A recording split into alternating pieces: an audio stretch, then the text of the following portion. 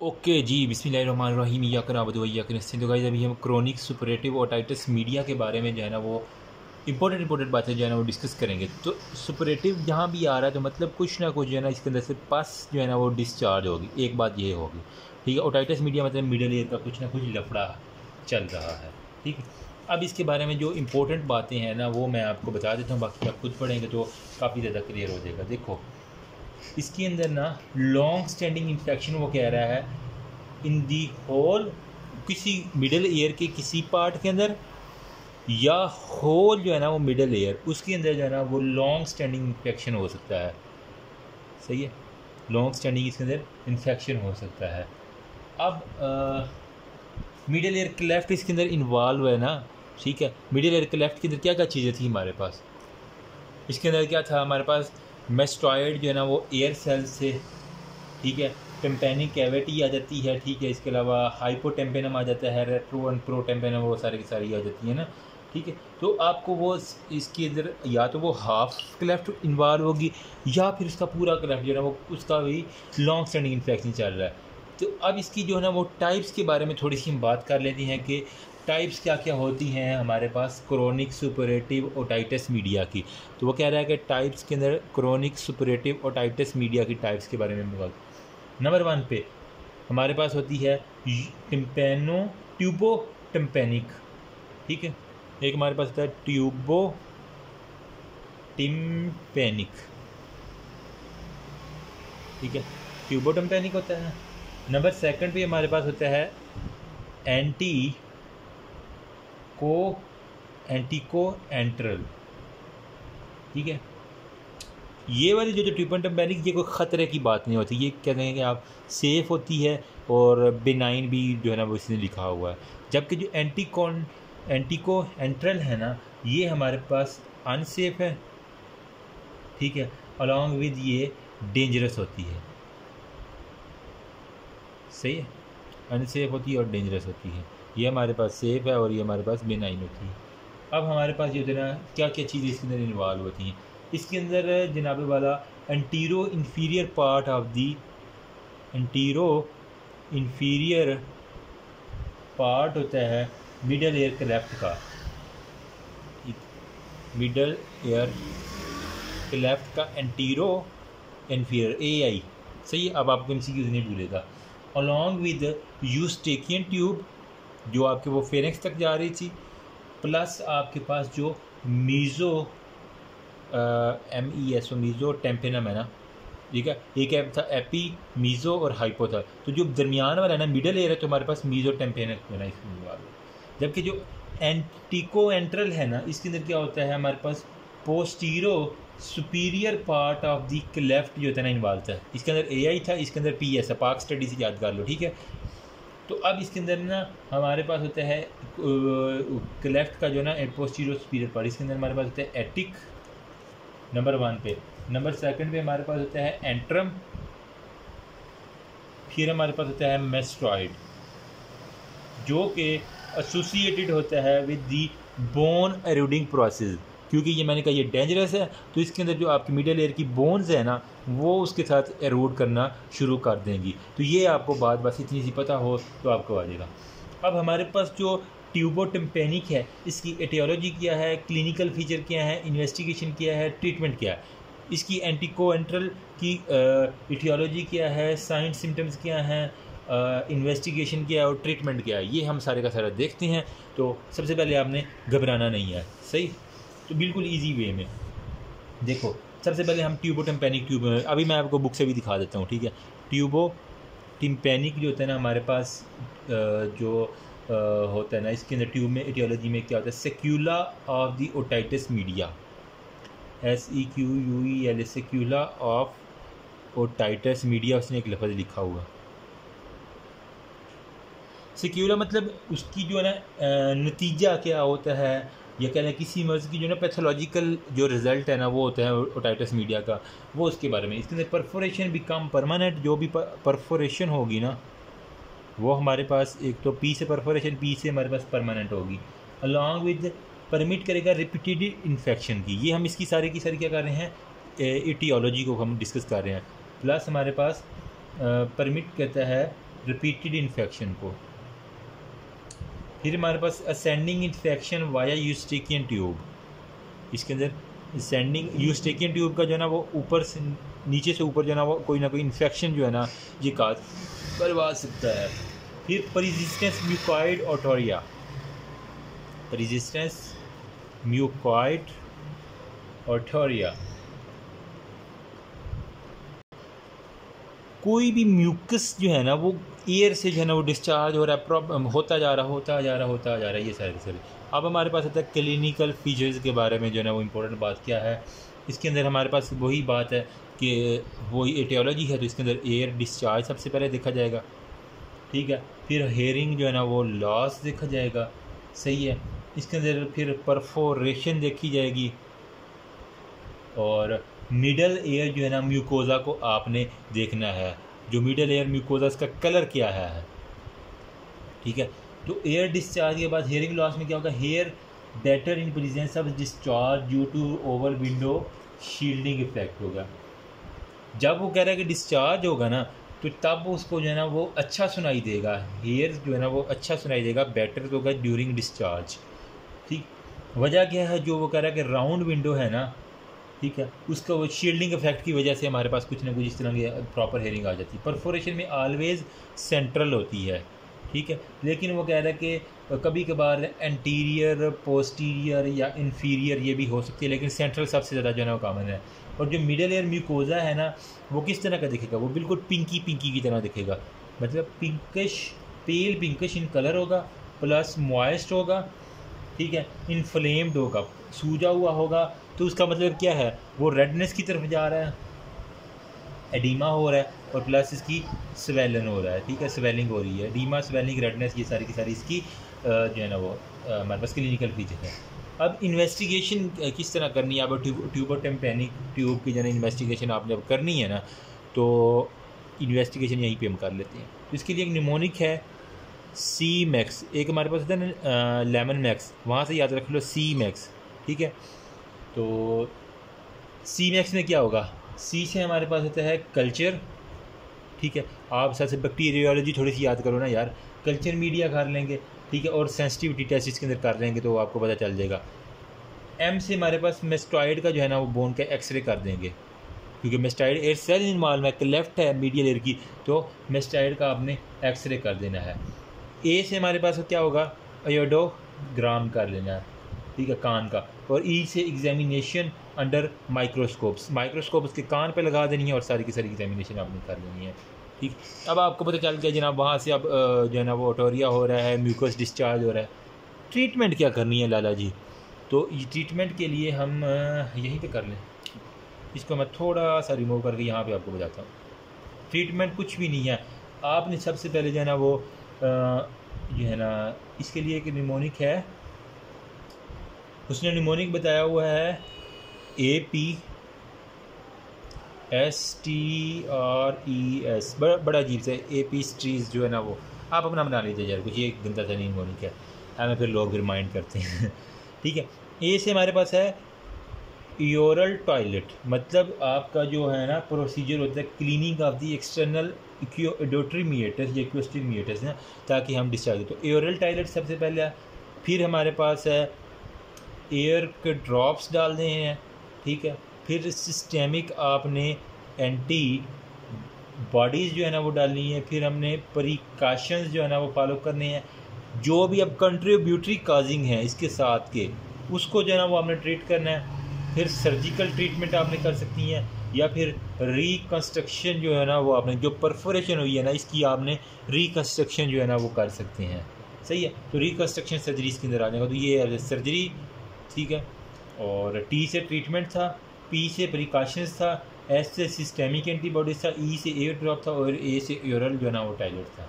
ये तो आप खुद भी लिख सकते हैं ना? तो ये सारे सारा ट्यूबोटम पैनिक अब मैं नेक्स्ट बताता हूँ आपको एटिको एंट्रल टाइप के बारे में। सेम हम यही करेंगे एटियोलॉजी क्लिनिकल फीचर्स उसके बाद उसके जो है ना वो इन्वेस्टिगेशन और इसके बाद। सही है? तो वीडियो यार लंबी हो रही है, लेकिन इसी के अंदर जो कवर करते हैं, फिर बाद में रह जाता है ना। ठीक है। तो अब हम देख लेते हैं एटिको एंट्रल तो इसके अंदर यार कुछ भी नहीं है। एटिको एंट्रल इसकी जो एटियोलॉजी है ना, वो कह रहा है कि, या तो पेशेंट को ना वो कोलेस्ट्रियो कोलेस्टियोटोमा हुआ होगा, या फिर ग्रेनुलेशन टिश्यू उसके अंदर दिखी जाएगी, ठीक है, या फिर ऑसिक्यूलर जो नेक्रोसिस है ना, वो होगी। या कोलेस्ट्रोल जो है ना ग्रेनुलोमा वो आपको दिखेगा, ठीक है? अब सिम्टम्स साइन में क्या होगा? ईयर जो है ना, वो वहाँ से डिस्चार्ज होगा। हेयरिंग लॉस आपको जो है ना, वो दिखेगी मरीज़ के अंदर। अलॉन्ग विद ब्लीडिंग होगी। सेम वही परफोरेशन भी वही होगी, ठीक है? रिट्रैक्शन पॉकेट्स इसके अंदर बड़ी इंपॉर्टेंट है, वो आप देखेंगे। रिट्रैक्शन पॉकेट्स जो हैं ना, वो दिखेंगी।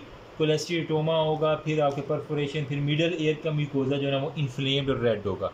ठीक है? मिडल एयर जो म्यूकोजा है, वो इन्फ्लेम्ड प्लस रेड होगा। ये आपको बातें पता होंगी, जो कि आपको हेल्प करेंगी साइन एंड सिम्टम में।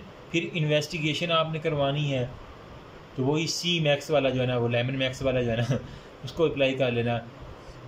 माइक्रोस्कोप आयोडोग्राम एक्सरे, किसका? टेम्पोरल बोन का आपने एक्सरे करवा लेना है। सिंपल सी बात, टेम्पोरल बोन का एक्सरे करवा लेंगे। सी से कल्चर मीडिया सेंसिटिविटी, एम से माइक्रोस्कोप के ज़रिए है सारे के सारा देखेंगे एग्जामिनेशन करेंगे, ए से अब आयोडोग्राम कर लेंगे। इतनी सी बात है। अब हमारे पास है ट्रीटमेंट इंक्लूडिंग कॉम्प्लिकेशन तो किस किस चीज़ को ट्रीटमेंट करना होता है? जब आप ट्रीट कर रहे होंगे तो आपको क्या क्या कॉम्प्लिकेशन आ सकती हैं? मतलब जो हमारे पास है ना chronic suppurative otitis media chronic suppurative otitis media की जो कॉम्प्लिकेशन है, जब आप ट्रीट कर रहे होंगे ना फीचर्स के साथ पेन होगा उसको वर्टिग वर्टाइगो होगा, ठीक है परिजिस्टेंस हेडिक होगा मुसलसल मेरे साहब सर में दर्द ही रहता है। Facial weakness facial nerve involve होती है ना तो फिर फेशियल वीकनेस आपको नज़र आएगी। और इसके अलावा अगर बच्चों के अंदर है ना तो चाइल्ड वो कह रहा है रिफ्यूज़ करेगा, हमारे पास टू टेक दी फ़ीड वो कहेगा, मैंने खाना ही नहीं खाना, रोटी नहीं खानी, माँ जी मैं। सही? फिर फीवर उसको बुखार होगा नोज़िया होगा वॉमिटिंग होगी डिप्लोपिया डबल वीजन फिर एटेक्जिया होगा और abscess of the round abscess in the round ठीक है? मतलब आपको पस पस वहाँ से ना नज़र आएगी। तो अब इसकी जो है ना, वो ट्रीटमेंट की थोड़ी सी बात करके इसको ख़त्म करते हैं। तो ट्रीटमेंट में आपने को ही करना है कि जो है ना, केनाल वाल डाउन प्रोसीजर उसने एक लिखा हुआ है। ठीक है? तो उसने बात एक लिखी हुई है, केनाल ट्रीटमेंट की बात कर रहा हूँ मैं ये सारे के साथ यहीं पर ताकि आपको, यहीं पर पता चल जाए केनाल वाल डाउन प्रोसीजर है और केनाल वाल अप प्रोसीजर है। बताता हूँ मैं क्या होता है। केनाल वाल अप प्रोसीजर्स होते हैं। फिर आपका जो है ना वो रिकन्स्ट्रक्शन जो परफोरेशन हुई हुई है ना, उसकी आप क्या कर सकते हैं? रिकन्स्ट्रक्शन सर्जरी कर सकते हैं, जिसके अंदर आपने मेरेंजियोप्लास्टी या टेम्पेनोप्लास्टी आपने नाम सुना है ना? तो मेरेंजियोप्लास्टी या टिम्पेनोप्लास्टी वो बुक के अंदर कह रहा है कि आप इसकी कर सकते हैं। फिर लाला जी वो कह रहा है कंजर्वेटिव ट्रीटमेंट में क्या आएगा? सक्शन क्लियरेंस होगा अंडर माइक्रोस्कोप इसके अंदर कप सक्शन और क्यूटराइजेशन कर सकती हैं, ठीक है? तो कप सक्शन वगैरह करके आप जितनी भी पास है ना, वो रिमूव करेंगे तो आपका सारे का सारा काम हो जाएगा। तो अगर कोई पूछे, ये किनाल, वाल अप और ये डाउन प्रोसीजर क्या है? तो आपने बताना ये बेसिकली ना सर्जिकल टेक्निक्स हैं, जो कि हम इस्तेमाल करते हैं कोलेस्टिटोमा को ट्रीट करने के लिए, ठीक है? तो इसके अंदर क्या होता है, हम exenteration of the mastoid air cell जो है ना, उसकी प्रिजर्वेशन करती हैं posterior wall of the external auditory creating mastoid cavity हम बना के ना, ठीक है? एक हमें कैविटी इसके अंदर बनानी पड़ती है, जिसकी वजह से मैं अगर आपको इमेज दिखाऊँ ना एक यार मुझे मिल जाए ना, ठीक है? ये देखो भैया देखो, ये किनार वाल अप है, और यहाँ पे नीचे किनार वाल जो है ना, वो डाउन आपको इसका एक ट्रीटमेंट नज़र आ रहा है इस तरह करके बाद जो है ना, वो आपको थोड़ा सा याद कर लेना, बस नाम आपको पता हो ज़्यादा प्रोसीजर नहीं पूछेंगे। तो दैट्स ऑल अबाउट क्या है क्रोनिक सपरेटिव ओटाइटिस मीडिया के बारे में। अभी नेक्स्ट जो है ना वो हमारा होगा ट्यूबुलर ओटाइटिस मीडिया लेकिन उससे पहले मैं आपको थोड़ा सा ये दिखा दूँ, अभी तक जो हमने पढ़ा है तो ये क्रोनिक ओटाइटिस मीडिया में हमने कहा कि सबसे पहले हमारे पास क्या होगा? ओहो मर्द की यार। ये देखो एयर डिस्चार्ज और परमानेंट परफोरेशन है, सिक्वेमेंस चीज़ें वो सारी की सारी आपने देख लेनी है। एपिडेमियोलॉजी में डिवेलपिंग से ये इसको छोड़ो। टाइप्स में हमने दो टाइप्स की थी ना। ठीक है, ये कह रहा है कि लेक ऑफ़ हेल्थ एजुकेशन अगर बहुत सेक्सेस के अंदर होती हैं, ये आप देख लें सोलह परसेंट हम देख टाइप्स में होती है ट्यूबोटेम्पेनिक और एटिको एंट्रल था। सही है। ट्यूबोटेम्पेनिक सेफ़ है और बिनाइन है, जबकि ये अनसेफ था और डेंजरस था। इसके अंदर एंटीरो इन्फीरियर था ए आई था, इसके अंदर पी एस पाक स्टडी स्पीरियर था। ईजी हो गया। फिर हमारे पास सेंट्रल परफोरेशन होती है मोस्टली इसके अलावा जो है ना वो यहाँ पे मार्जिन परफोरेशन होती है कोलेस्ट्रोमा ग्रैंडुलेशन होता है। ट्यूबर टेम्पेनिक में डिज़ीज़ है, इसके अंदर क्या होता है? Acute otitis media behind the central perforation होती है फीवर होती है। बाकी असेंडिंग इन्फेक्शन और यूस्टिकियन ट्यूब मैंने बता दिया आपको प्रिजिस्टर म्यूकॉइड ओटोरिया होता है, मिलता है। पैथोलॉजी में हमने कहा कि antero inferior part of the middle ear cleft involve होती है और वो सारे की सारी। परफोरेशन ऑफ़ द पास्ट टेंसा लिखा हुआ है मिडल एयर म्यूकोजा लिखा हुआ है पोलिप लिखे हुआ और सीगुलर चेन ये आपने खुद पढ़ने हैं। सही है। तो यहाँ पे जो है ना वो ट्यूबर टिम्पेनिक या सेफ़ टाइप और एंटी को इसको अगर याद कर लोगे ना या परफ्यूज म्यूकाइड और अडरलेस यहाँ पे जो है ना वो फाउल स्मेलिंग होती है। ये परफोरेशन सेंट्रल है, ये मार्जिनल होती है। ये ग्रेनुलेशन इसके अंदर नहीं होती, इसके अंदर होती है। ये पेल होती है पोलिप यहाँ पे रेड होती है, एबसेंट होती है यहाँ पे कोलेस्टिटोमा यहाँ पे प्रेजेंट होती है। कॉम्प्लिकेशन रेयर है, इसके अंदर बहुत ज़्यादा कॉम्प्लिकेशन हमने देखी है। Mild to moderate conductive difference है, इसके अंदर जो है ना कंडक्टिंग और मिक्स डेफनेस होती है। अगर इसको याद कर लो लोगे, ये सारा टेबल आपका याद हो गया। सही है फिर टिम्पेनो टिम्पेनो टिम्पेनोसिक्लिरोसिस में हाइलिनाइजेशन हो सकती है, वो फाइब्रोसिस हो सकती है, डिलीजन हो सकती है, या आप खुद भी पढ़ सकते बैक्टीरियोलॉजी में वो कह रहा है कि, बैक्टीरिया के नाम आपको पता होना चाहिए प्रोटीस है इक्वलाई है ऑलरेडी आपने पढ़े हुए हैं। फिर alternative classification tympano tubo tympanic disease को mucosal disease with no evidence invasion card active हो गया वो कुछ भी नहीं थी। जो कह रहे हैं या एक्टिव होगी, या फिर वो इनएक्टिव होगी जब वो permanent perforation of the past tense होती है परमानेंट परफोरेशन वही है बात। ठीक है?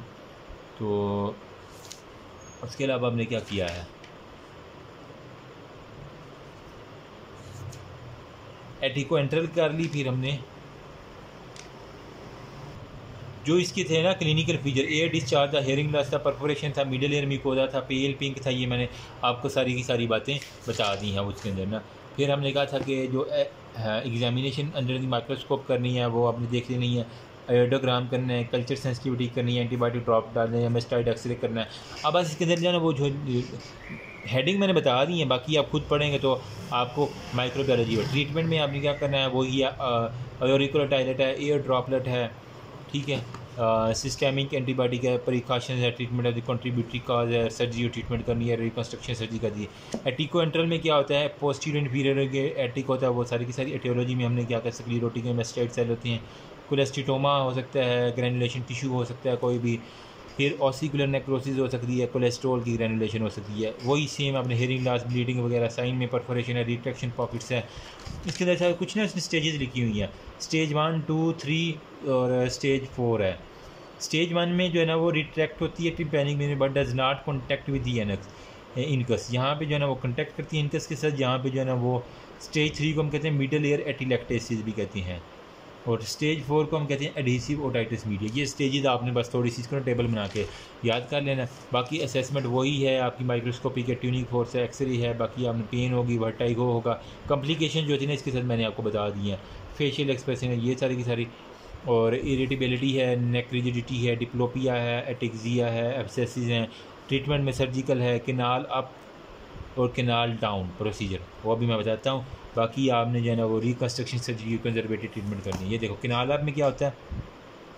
वो कह रहा है कि they leave the meatus open they leave the mastoid cavity open into the external auditory canal के अंदर so that the disease is fully exteriorised जबकि यहाँ पे क्या है कि here disease is remove by combine approach of meatus and mastoid but retaining the procedure of bony meatus with the intact होगा।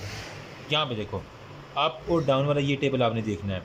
यहाँ पे मीटस जो है ना, वो नॉर्मल अपेयरेंस होता है, यहाँ पे यहाँ पे वाइडली मीटस ओपिनियन जो कि कम्युनिकेट करता है विद दी मेस्टाइड के साथ। यहाँ पे दो एम है मीटस और मेस्टाइड के साथ। डिपेंडेंस में does not require routine clinic यहाँ पे आपको क्लिनिक डिपेंडेंस जो है ना रिक्वायर होती है क्लिनिक के लिए। रिकोरेंस हाई रेट है बार बार हो सकती है, यहाँ पर रिकोरेंस लो रेट है। Secondary look second look surgery में वो कह रहा है कि सिक्स मंथ के अंदर ना वो आपको रिक्वायर होती है सेकेंड लुक जबकि यहाँ पे कोई रिक्वायर नहीं होती। पेशेंट लिमिटेशन में कोई लिमिट नहीं है।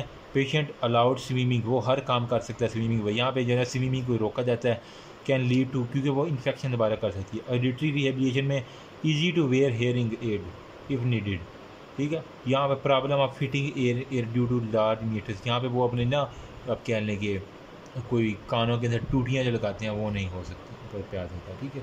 अब लास्ट में हम देखेंगे ट्यूबुलर ओटाइटिस मीडिया अब ये मैंने करी अपने नो यू कैन नो, थोड़ा सा ये बोरिंग टॉपिक है। जो जो इंपॉर्टेंट चीज़ें मैंने बता दी हैं, बाकी जिसने ज़्यादा पढ़ना है तो वो यहाँ से डिटेल के अंदर जो है ना, वो अच्छे से पढ़ लेगा, ठीक है? Thank you so much remember me also your precious prayer बाकी और कुछ रह तो नहीं किया यहाँ पे देखो, ये देखो एक देखो। परफोरेशन जो टिम्पैनिक मेम्ब्रेन की ये क्वेश्चन आ सकता है। पास टेंसा की हो सकती है पास पर जैसे डगी जिसे हम एटिक परफोरेशन कहते हैं। पास टेंसा में सेंट्रल होता है या मार्जिनल परफोरेशन होती है, ठीक है? ये इंपॉर्टेंट बहुत बहुत इंपॉर्टेंट है। जो सेंट्रल में एंटीरियर पोस्टीरियर इन्फीरियर और सब टोटल है, जबकि यहाँ पे जो है ना पोस्टीरियर स्पीरियर एंटीरियर एंफीरियर और टोटल हो सकती है। पोस्टीरियर स्पीरियर मार्जिन होगा बस ये चार्ट इसको रटा लगाना है आपने तो हो जाएगा। बाकी यहाँ पे जो है ना, वो क्रोनिक ओटाइटिस मीडिया में म्यूकोजल डिज़ीज़ होती है या सिक्वेमो म्यूकोजल होती है। इसके अंदर म्यूकोजल में एक्टिव है इनएक्टिव है और हील्ड है। मतलब यहाँ पे हमने जो एक्टिव और इनएक्टिव वाला सारा पढ़ रहे थे ना, उसको उसने इसमें ब्रीफ कर दिया। सिर्फ़ ये याद कर लो, इसको रिवाइज करेंगे तो आपको सही आ जाएगा। म्यूकोजल डिज़ीज़ हो सकती है या फिर सिक्वेमो स्क्वीमोजल डिज़ीज़ हो सकती है। म्यूकोजल में एक्टिव है इनएक्टिव है या हील्ड है। एक्टिव में क्रोनिक सपरेटिव ओटाइटिस है। इनएक्टिव में परमानेंट परफोरेशन है और हील्ड में मतलब वो एडहीजन हो चुकी है। जबकि यहाँ पे हमारे पास रिट्रैक्शन पॉकेट्स होते हैं या फिर यहाँ एक्टिव में जो है ना वो डिस्चार्ज हो सकते हैं सारे का सारा। That's all about thank you so much remember me your precious prayer अल्लाह हाफिज़